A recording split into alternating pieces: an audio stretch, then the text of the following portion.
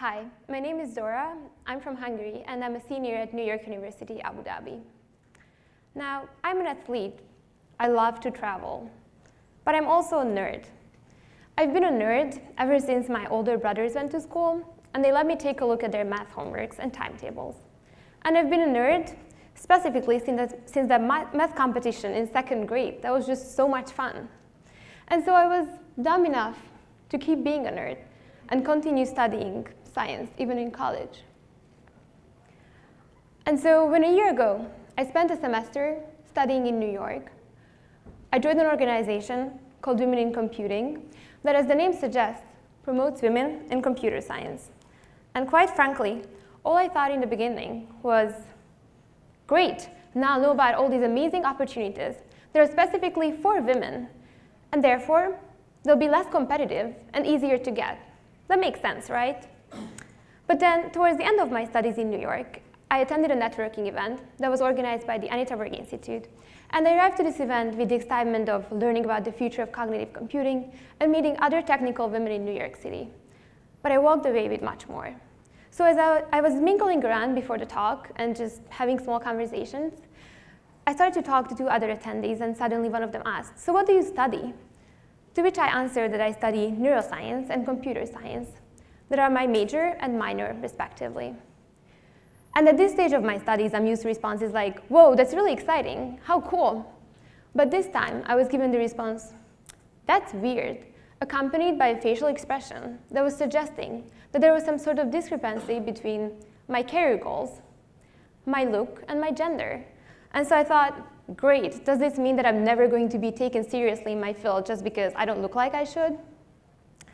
But this other attendee who gave me this response was also a woman, a woman who did not think I would be studying a STEM field, and who was underestimating the proportion of women at this event actually being technical. And I could have been offended, or I could have just moved on, but instead I took a step back and told myself, I really did not have the right to be offended. She just took an educated guess based on what she and society thinks a typical STEM major would look like.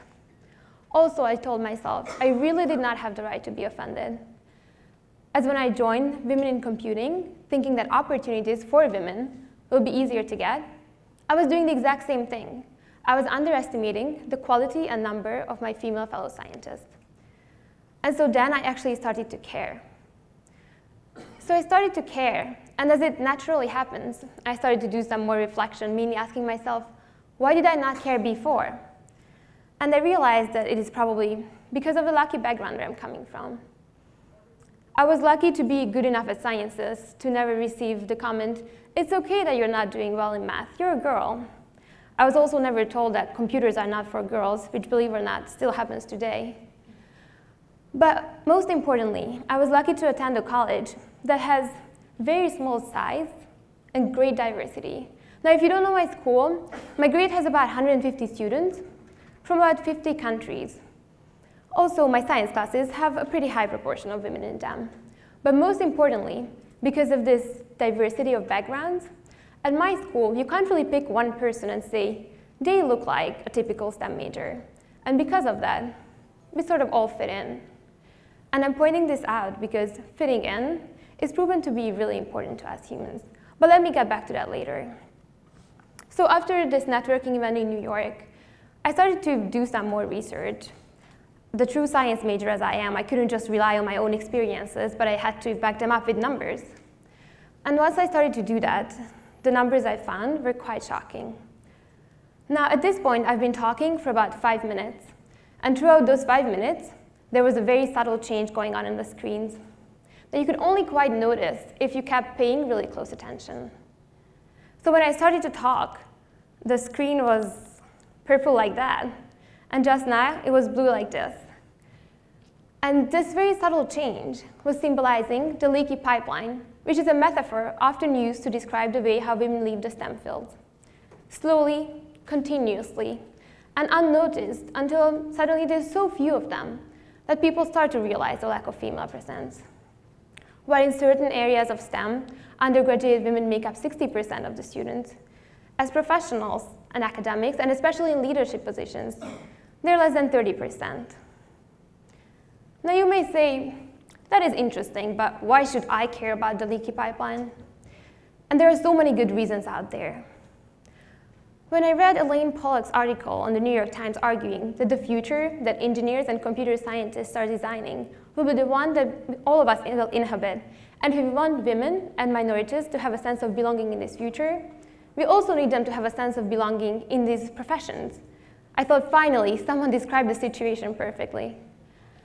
And when I hear discussions uh, arguing that there's a lack of software engineers and hackers, all I can think, for God's sake, you have this bunch of men doing computer science and very few women.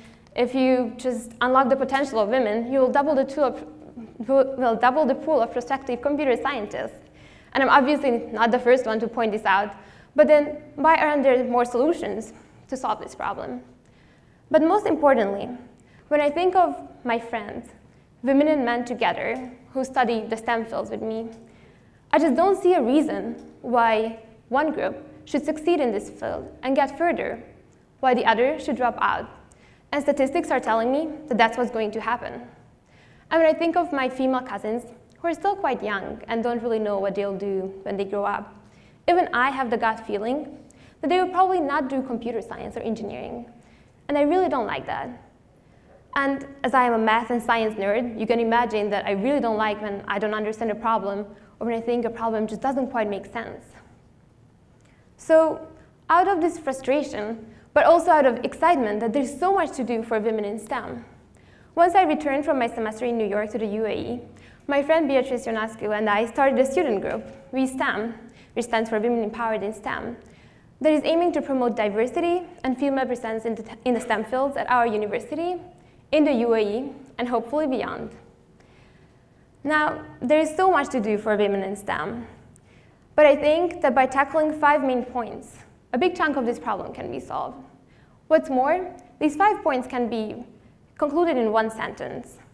All genders need to have a sense of belonging in the STEM fields from early on, and they all have to be given equal opportunities and equal support.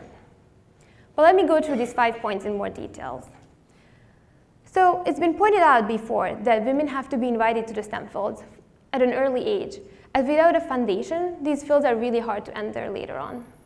I believe this can be done through middle and high school outreach and by involving girls in hands-on projects and research so they can see the practical side of doing and studying STEM. I pointed out before how important fitting in is. And so even when people arrive to college with the idea of wanting to major in STEM, a lot of them drop out just because they feel they don't belong to that group. I believe this problem can be solved partially by having a group on campus, a no-pressure environment where women can get together and work on their STEM-related projects. However, it's also really important that women learn to work with the opposite gender, and that the conversation about women in STEM does not only involve women. I hope that by involving men in this conversation, the outcome can be more fruitful. Fourth, a lot of people have pointed out before that society needs to consciously remove the bias and give more support, mentorship, and opportunities to women in STEM. Now, I'm not saying that I'm going to teach society to do that, but I can try to teach my own community, and hopefully some of you will do the same. And finally, there are a lot of opportunities out there that we either don't know about or are too scared to take. I believe that by having a group where women can encourage each other and push each other and share their knowledge and network with each other, we can contribute to, contribute to each other's success. Now, these solutions are far from perfect, but in return, they are feasible, practical, and realizable. Now, why am I here talking to you about this tonight? Well, I believe that the STEM fields should not be an environment where women feel they don't belong to. I hope that all of you can just take a moment to reflect on your own friends and family and ask yourself, do you see a reason why men should succeed more in these fields than women? Since starting WeSTEM, one of the critiques we've been receiving the most often was, why is it for women only? Why not for men too? And it is not for women only, and definitely not against men. I am not imagining a future in which all the leading scientists and engineers will be female but a future where there is equal opportunity and equal representation. I'm imagining a future where a woman succeeding in STEM should not be an exceptional story. Well, I am here tonight because a year ago, I actually started to care. From someone doing STEM who also happened to be female, I started to think of myself more consciously as a woman in STEM. I don't see a reason why women should not fit in in the STEM field. And so I'm working on plugging on the holes in the pipeline. And now it's time for you to help me stop the leakage. Thank you.